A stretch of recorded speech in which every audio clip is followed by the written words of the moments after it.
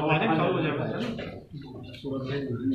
गया दिनांक 16 दस 2018 को थाना चिलकाना में एक लूट की वारदात घटित हुई थी जिसमें चार लोगों के साथ लूट की वारदात की गई थी। इसमें दो बदमाश नौमान और दिलशाद की गिरफ्तारी की गई है। इनके पास से तमंचा और चाकू बरामद हुआ है।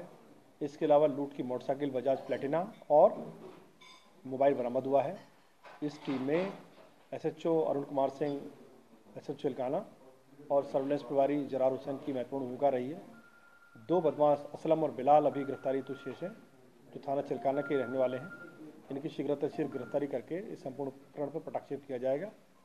इस पूरी टीम को एसएसपी सहारनपुर महोदय की तरफ़ से दस हज़ार रुपये के इनाम की घोषणा भी की गई। क्या क्या दो दो दो जो लूटी गई मोटरसाइकिल है और लूटा गया मोबाइल है वो बरामद हुआ है।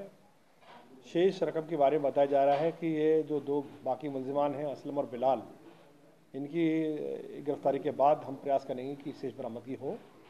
अभी ये एब्सकॉन्ड कर रहे हैं जल्द से जल्द इनकी गिरफ्तारी कर ली जाएगी।